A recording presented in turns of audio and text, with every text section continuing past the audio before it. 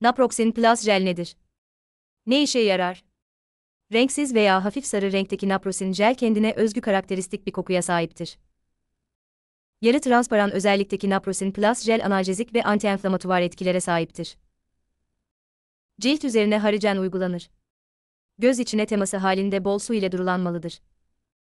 Naproxen jel ne işe yarar?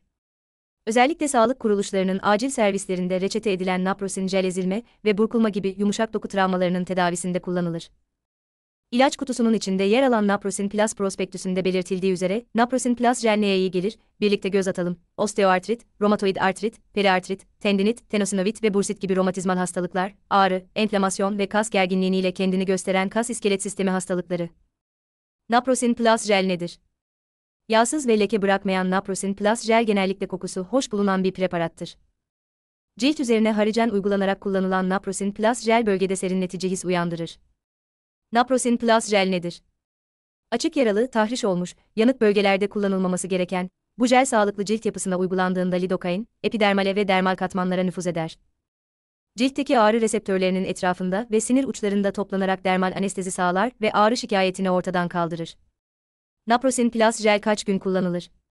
Doktorlar bu veli hastanın öyküsüne göre ve hastanın karakteristik özelliklerine göre önermektedir.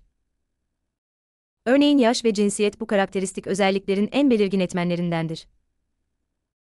Doktor önerisi üzerine ve önerdiği şekilde kullanılmalıdır. Naproxen Plus jel günde kaç kez kullanılır? Genellikle günde iki kez sabah ve akşam olacak şekilde kullanımı önerilir. Ancak şikayet ve şikayetin boyutuna göre kullanım sıklığı değişebilmektedir. Doktor veya eczacınıza danışmanız daha faydalı olacaktır. Naproxen Plus jel boyunda kullanılır mı? Naproxen Plus jel boyun ağrısı çeken hastalara doktorlar tarafından en sık reçete etmeyi en çok tercih ettiği ilaçlardan biridir.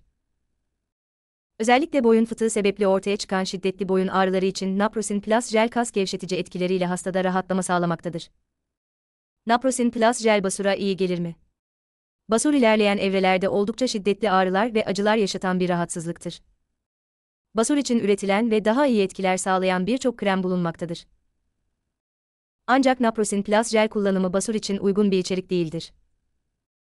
Naproxen Plus jel kas gevşetici mi? Naproxen Plus jel kas gevşetici özelliğine sahip güçlü bir ağrı kesicidir. İçeriğinde etanol yardımcı madde olarak barındıran Naproxen Plus jel burkulma ve yumuşak doku ezilmesi vakalarında ağrıyı kısa sürede dindiren jel düşük düzeyde anestezik etkilerde göstermektedir. Naproxen Plus jel yüze sürülür mü? Naproxen jel kullanımı hakkında merak edilen birçok soru var.